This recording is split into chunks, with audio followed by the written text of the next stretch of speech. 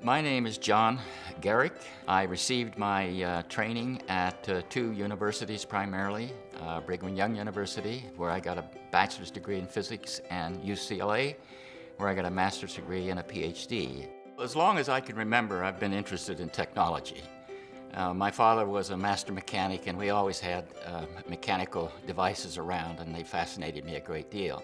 It's no accident, I'm sure, that this is called the School of Engineering and Applied Science.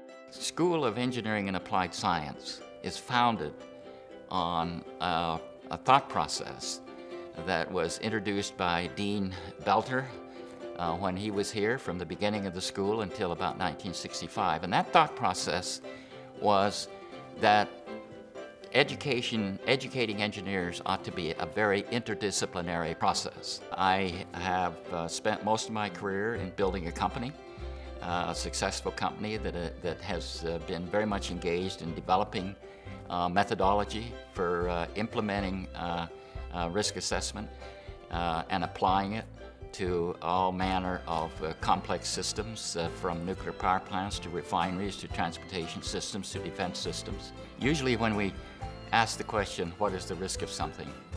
The interpretation is we are asking three questions. What can go wrong? How likely is it if it does go wrong? And what are the consequences?